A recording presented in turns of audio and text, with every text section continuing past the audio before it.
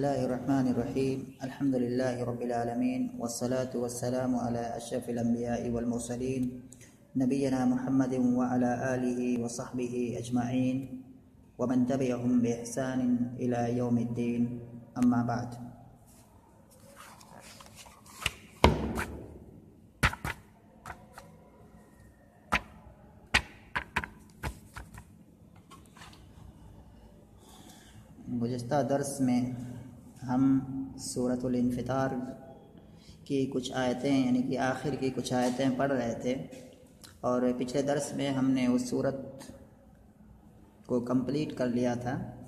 आज हम एक दूसरी सूरत को पढ़ने जा रहे हैं, जिसका नाम है सूरतुल मुतफ़िफ़ीन सूरतुल मुतफ़िफ़ीन इसके बारे में है, लिखा हुआ है कि ये मक्की सूरत है, और उसमें छत्तीस आयात हैं।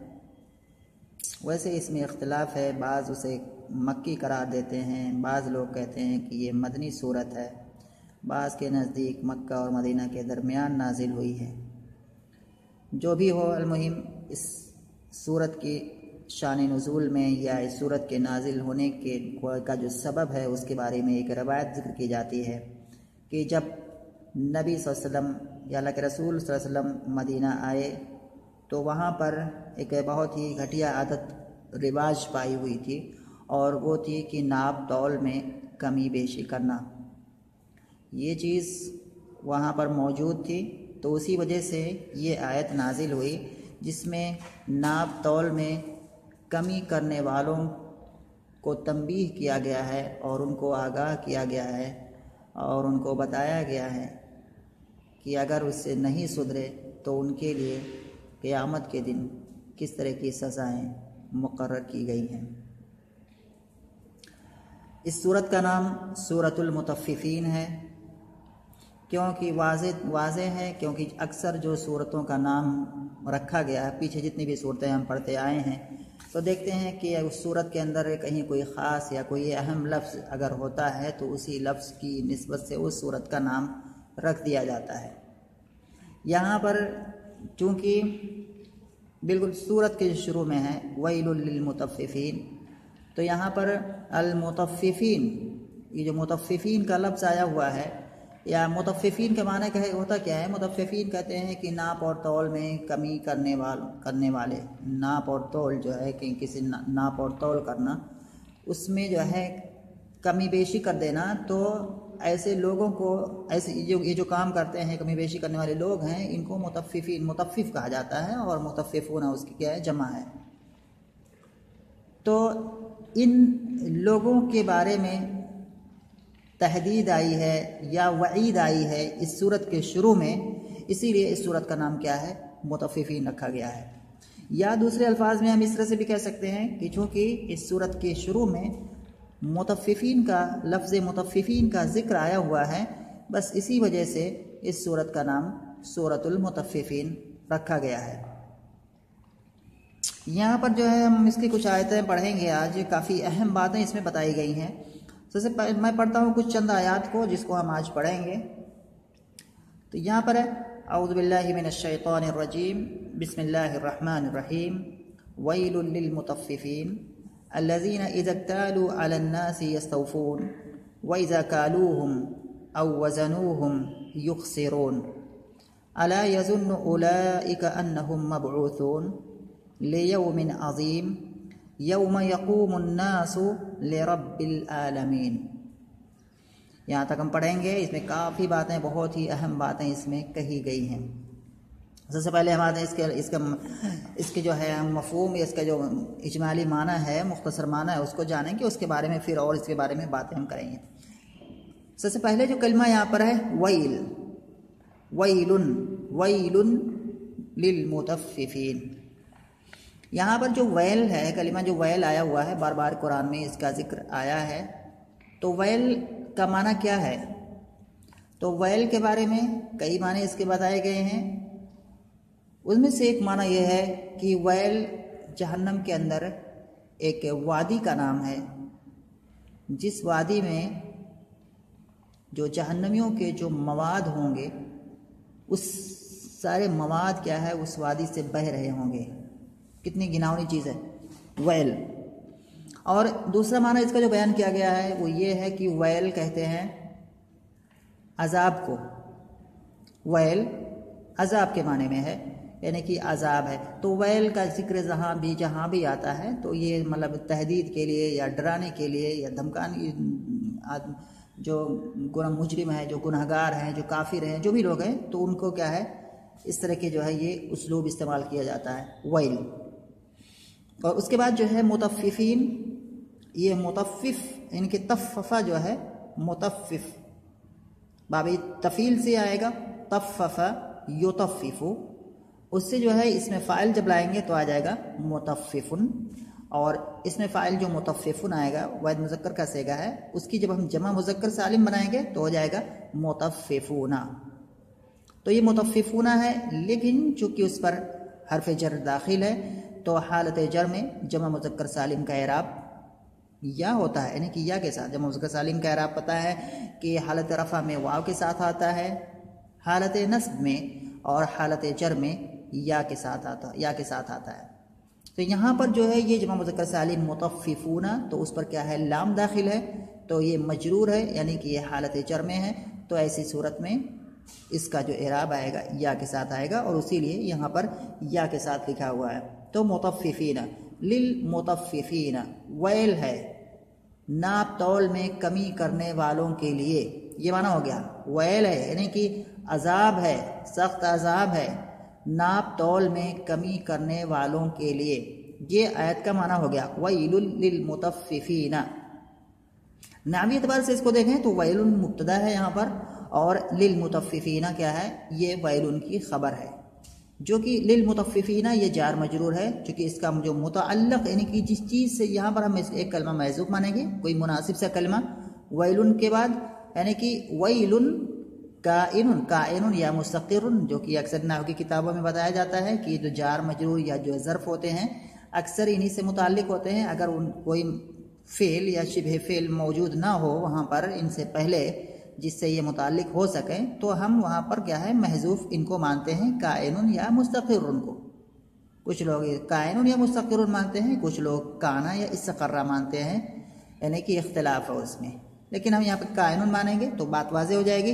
तो वहीलुन काइन लिल मुतफ़िफ़ीना तो यहाँ पर जो कायन महजूफ मानेंगे और लिल मुतफ़िफ़ीना ये चार मजरूर उसी कायन से मुतल हो जाएगा। और फिर कायन अपने इस मुतल से मिल करके ये खबर बन जाएगा किसकी? वैल मुबतदा की। सवाल यहाँ पर होता है कि वैल ये तो नकरा है तो फिर मुबतदा तो नकरा होता नहीं है। तो फिर ये मुबतदा कैसे बन गया? तो यहाँ पर एक बात जानने की है कि मुबतदा नकरा तो होता नहीं है असलन, क्योंकि मुबतदा वो होता है जिसके बारे में ख़बर दी जाती है, और जिसके बारे में ख़बर दी जाए तो ज़रूरी है कि वो आदमी जाना पहचाना हो। तो मुबतदा इसीलिए क्या होता है? मारफा हुआ करता है। लेकिन यहाँ पर क्या होता है कि बाज़ सूरतें ऐसी आती हैं कलाम अरब में कि वहाँ पर नकरा भी मुबतदा वाक़ हो सकता है। तो उनमें से एक चीज़ ये भी है कि अगर मुबतदा नकरा हो, और अगर अगर मुबतदा क्या है? उसके अंदर दुआ का माना हो, दुआ पर दलालत करता हो, उसके अंदर दुआ का माना हो तो ऐसी सूरत में मुबतदा नकरा आ सकता है। बहुत सारी सूरतें हैं कि मुबतदा की अगर सिफत लाई गई हो तो भी नकरा आ सकता है। मुबतदा अगर मौखर हो, खबर मुकदम हो तो भी मुबतदा नकरा आ सकता है। बहुत सारी हैं, लेकिन मुबतदा की जो बहस है नह के अंदर, कि वहाँ पर मुबतदा को कब कब नकरा लाया जा सकता है, वहाँ पर ये सारी चीज़ें क्या है, मौजूद हैं यह नौ की किताबों में आगे आएँगी। तो यहाँ पर जो वैलुन है, ये इसके अंदर दुआ का माना है। इसका माना अगर हम करें वैलुल मुतफ़िफ़ीन नाप तौल में कमी करने वालों के लिए हलाकत है। यानी कि एक तरह से ये दुआ है, इसमें बदुआ है। चाहे दुआ या बदुआ दोनों शामिल है। तो अगर मुफ़्त अगर दुआ या बदुआ पर दलात कर रहा है तो क्या है, मुफ्तदा नकरा वाक़ हो सकता है। तो इसमें क्या एक तरह से बदुआ है कि मतलब ऐसे लोगों को, लोगों के लिए क्या है, अजाब हो या हलाकत हो। तो ये नबी एतबार से हो गया। और आगे जो आयत आ रही है लिल मुतफ़िफ़ीन अल्लज़ीन यस्तौफून अल्लज़ीना। तो ये अलमुतफ़िफ़ीन यहाँ पर आया हुआ है और मुतफ़िफ़ीन ये मौसूफ़ है और अल्लज़ीना और उसके बाद सिला है, अल्लज़ीना मौसूल है, उसके बाद क्या है, सिला है, मौसूल सिला फिर ये सिफत बन जाएँगे मुतफ़िफ़ीन का। तो उसके बाद कह रहे हैं कि ये और ये जो चीज़ है, ये जो आयत है, दूसरी आयत जो है, अल्लज़ीना इज़क्तालु अलन्नासी यस्तौफून अल्लज़ीना इज़त्तालु अलन्नासी यसौफून ये क्या है? एक सवाल बताते मुतफ़िफ़िल मुतफ़िफ़ीन यानी कि मुतफ़िफ़ीन फिर क्या है? कौन है मुतफ़िफ़ीन मुतफ़िफ़ीन से मुराद क्या है? तो उसी का क्या है? एक तरह से शर है यहाँ पर। अल्लजीन इजक्तालू अलन्नासी यस्तौफून। कि जब वो लोग, जो लोगों से नाप कर लेते हैं तो पूरा पूरा लेते हैं। अल्लजीन इजक्तालू अलन्नासी इकतालू अलन्नासी यस्तौफून। इकताल अलन्नास की लोगों से कोई चीज़ नाप कर लेना तो ये माना होता है इकताला का। इकताला, कैल, यानी कि इकताला यहाँ पर जो फेल है, ये बाब इफ्तियाल से है। इफ़, इकताला, जो इकतागल, इकतालू यहाँ पर ये जमा का सेगा है। अगर हम इसका वाहिद निकालेंगे, बाब इफ्तियाल से हो जाएगा इकताला। और इकताला जो फेल है तो ये बाब इफ्तियाल से कैसे आएगा? बाब इफ्तियाल का वज़न तो आता है इफ्ताला, जैसे इजतनबा।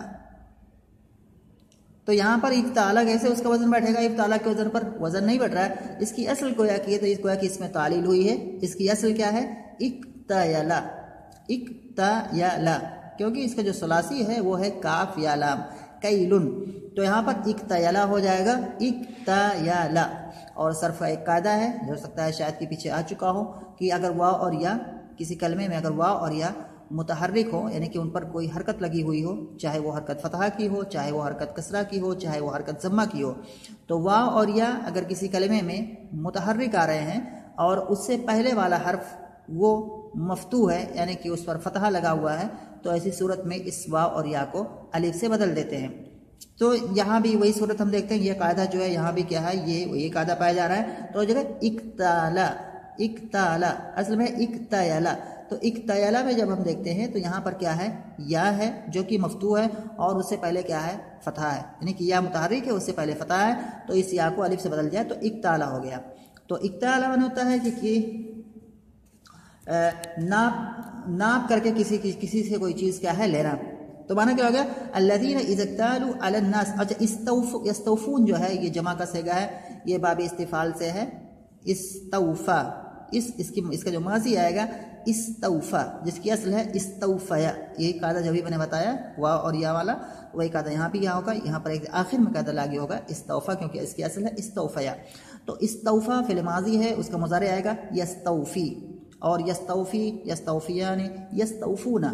यस्तौफी की अगर हम गर्दान करेंगे, यस्तौफी फेल की तो क्या आएगा? यस्तौफी यस इनके फिल मुजारे, यस्तौफी, वायद मुजक्कर गायब, यस्तौफिया ने तस्निया मुजक्कर गायब, यस्तौफूना जमा मुजक्कर गायब। तो यस्तौफूना यहाँ पर क्या है? वही आया हुआ है, इस्तौफा से फिल मुजारे जमा मुजक्कर गायब, जिसका माना होता है कि किसी से पूरा पूरा लेना, कोई चीज़ जो है किसी से लेना, पूरा पूरा लेना। तो ये माना हो गया यस्तौफ यस्तौफी का। तो माना हो गया कि अलमुतफ़िफ़ीन कौन है? जो जो लोगों से नाप करके लेते हैं तो पूरा पूरा लेते हैं। अल्लादीना इजक्तालू जो लोगों से जब नाप करके कोई चीज़ लेते हैं तो पूरा पूरा लेते हैं। और व इदा कालू हम अ वजनू हम युखसरूना, और जब उनको कोई चीज़ नाप कर देते हैं या उनको कोई चीज़ वज़न करके देते हैं, युखसरूना तो वो क्या करते हैं? कम करके देते हैं, उसमें कमी कर देते हैं। यानी कि एक ऐसे लोग हैं कि जब किसी आदमी से अपना कोई चीज़ लेते हैं, यानी कि एक आदमी है, वो कहीं पर जो है किसी से कुछ खरीद रहा है, जैसे कहीं पर किसी से गया खरीदने के लिए, कुछ सामान खरीदने के लिए, जैसे कि मिसाल के तौर पे कोई कुछ भी, कोई कोई भी सामान खरीदना हो, चीनी खरीदना हो, गल्ला खरीदना हो, कुछ भी खरीदना हो तो जहाँ वो खरीदने के लिए गया है तो वहाँ पर जितना पैसा वो दे रहा है, उतने पैसे का पूरा का पूरा क्या है, नाप करके या तौल करके, अगर चीज़ नापने वाली है, तौलने वाली है तो वो क्या है, वो पूरा पूरा क्या है, उस आदमी से लेता है। लेकिन ये जब बेचता है, किसी दूसरे आदमी को कोई सामान, दूसरे से पैसा लेता है और अपना कोई सामान क्या है, नाप या तौल के देता है तो इसमें ये कमी कर देता है। पूरा पूरा नहीं तोलता है। जैसे एक किलो अगर इस किसी को दे रहा, देना है, इसको जो है किसी से इसने एक किलो का पैसा लिया है तो एक किलो नहीं, बल्कि उसमें कुछ ग्राम ये कम ही करके देता है। इस तरह से नापता है और पता भी नहीं चलता है। इनकी महारत होती है, डंडी मारना क्या होता है, इस तरह से। तो ये इस टाइप के जो लोग होते हैं, इनके लिए बहुत ही भयानक तरह से क्या है, इसमें वईद आई हुई है। इसमें जो है, इस इन आयात में जो कि चंद आयात जो इसकी इब्तदाई हैं, इसके अंदर। कि ऐसे लोगों के लिए क्या है? हलाकत है, तबाही है, अजाब है, बर्बादी है ऐसे लोगों के लिए। और एक बात ध्यान में रखनी चाहिए कि यहाँ पर जो ये नाप और तौल का ज़िक्र है इन आयात के अंदर, ये सिर्फ़ यहीं तक महदूद नहीं है, बल्कि इसके मुशाबे जितनी भी चीज़ें हैं, सब पर इसका इतलाक होता है। यानी कि हर वो जगह या हर वो सिचुएशन या हर वो हालत जहाँ पर आदमी कोई चीज़ किसी को देता है और उससे कोई चीज़ क्या है लेता है। और वहाँ पर क्या है गड़बड़ी पैदा करे। जैसे मिसाल मिसाल के तौर पर कोई एक आद, एक आदमी जो है कोई एक कंपनी है। एक कंपनी है उस कंपनी का कोई मालिक है और उसके यहाँ लोग क्या है या बहुत सारे नौकर क्या है वह उसके यहाँ काम कर रहे हैं। तो ये ये जो आदमी है उन नौकरों के लिए इसने क्या है कुछ शुरूत मुकर कर दिए हैं कि ऐसे ऐसे तुम्हें करना है इतने बजे आना है इतने बजे फिर वापस जाना है इतने पूरे टाइम में काम करना है ये ये काम करना है पूरा करके जाना है। और वो मजदूर आदमी क्या करता है वो पूरा का पूरा काम जैसा कि उसको बताया गया है उसी एतबार से करता है। और फिर जब उस मजदूर को उसकी जो, जो उजरत है मजदूरी देने की बारी आती है तो फिर उसमें इस कंपनी का मालिक क्या है? उसमें जो है कमी बे, कमी कर देता है। उसको पूरा देता नहीं है। तो ये भी क्या है? इसके अंदर क्या है? शामिल हो जाएगा। यानी कि इसमें जो है नाप तौल में कमी करना सिर्फ़ मुफसरीन का कहना है कि इसमें सिर्फ़ यही मुराद नहीं है, बल्कि हर वो चीज़ जहाँ पर आदमी दूसरे से कोई चीज़ तो पूरी पूरी ले रहा हो, लेकिन अपना जब उसी के बदले में देना होता है तो वहाँ पर क्या है? वो कमी करता है। जैसे कि एक कंपनी का मालिक जो क्या है, मजदूरों से तो पूरा पूरा काम करवा लेता है, लेकिन क्या है, जब उसको उसकी उजरत देने की बारी आती है तो वो क्या करता है, उसमें कमी करता है, पैसा उसको पूरा नहीं देता है। तो ऐसे ये लोग भी इसमें क्या है, दाखिल है। ऐसे ही मिसाल के तौर पर एक मियाँ और बीवी का ताल्लुक है ना कि एक शौहर और बीवी का ताल्लुक है। कि शौहर तो चाहता है कि जो बीवी बीवी के तई बीवी के ऊपर शौहर के तई जितने हकूक़ हैं। शौहर चाहता है कि वो बीवी क्या है, वो सारे हकूक़ क्या है, शौहर की क्या है, पूरा करे। और अब बदले में शौहर के ऊपर भी ज़रूरी है कि बीवी की तय उस जो हकूक़, उस पर वाजिब होते हैं, वो उसको पूरा करे। लेकिन बीवी से तो सारे हकूक़ क्या है, वो पूरे करवा लेता है। लेकिन जब इसको उनके वो हकूक़ अदा करने होते हैं तो ये क्या करता है, वहाँ पर कोताही करता है। ऐसे ही एक टीचर है, कोई किसी भी दुनिया की कोई भी चीज़ हो जहाँ पर कोई चीज़ लेना हो फिर उसके बदले में देना हो तो ये आयत क्या है? उन तमाम चीज़ों पर क्या है? फिट बैठेगी। कोई एक टीचर है जब वो पढ़ा पढ़, पढ़ाने जाता है तो अगर वो उसको सैलरी मिलती है पूरी पूरी मतलब जो है कि इतने टाइम से इतने टाइम टाइम तक उसके लिए फिक्स किया करना है ये काम कर, करना है सैलरी वो पूरी लेता है लेकिन अगर वो अपनी काम को बहुत खूबी नहीं अंजाम देता है, यानी कि उधर से तो पूरा लेता है, लेकिन इधर से क्या है, वो काम नहीं जब बहुत सारे स्कूलों में होता है, खास करके सरकारी स्कूलों में, पैसे तो पूरे मिलते हैं, लेकिन क्या है, उसके बदले में जब इसको वो काम करने का होता है तो काम पूरा नहीं करता है। तो यहाँ भी क्या है, एक तरह से अपना हक क्या है, पूरा का पूरा ले रहा है, और इधर से इसको जो करना चाहिए था, उसमें ये कोताही कर रहा है। बहुत सारी मिसालें इस तरह से फिट बैठेंगी और इन सारी चीज़ों पर क्या है? ये आयत जो है फिट बैठ रही है। और ये बड़ा ख़तरनाक मसला है। आदमी को चाहिए कि इसकी तरफ़ क्या है? ध्यान दे, इसकी तरफ़ वो करे। क्योंकि ये जो मसला है, ये हकूक़ लिबाद का, ये जो ये जो ताल्लुक़ है ये ये हकूक़ लिबाद से ताल्लुक़ है। आदमी जो गुनाह करता है, वो गुनाह दो तरह के होते हैं। एक गुनाह तो वो करता है जिसका ताल्लुक़ उसके और अल्लाह ताला के दरमियान में होता है। जैसे कि आदमी सही मानों में मोमिन है, ला और मोहम्मद रसुल्ला पर सही सच्चे दिल से पढ़ता है। लेकिन वो बहुत कुछ अमाल में कोताहियाँ कर जाता है। ये जानते हुए कि ये करना चाहिए और ये ना करने से इसमें गुनाह है। मिसाल के तौर पर क्या है? वो रोज़ा नहीं रखा। उसको पता है कि रोज़ा रखना चाहिए। रोज़ा ना रखना बहुत बड़ा गुनाह है, इससे बहुत बड़ी सज़ा मिलती है, लेकिन कोताही करके वो नहीं रख पाया। ऐसे नमाज़ के बारे में उसका कुछ मसला हो गया, या हज के बारे में उसका कुछ ताल्लुक हो गया, या कुछ और हो गया तो ये जो चीज़ें हैं, लेकिन उसके अंदर शिरक नहीं है। तो अल्लाह ताला क्या है?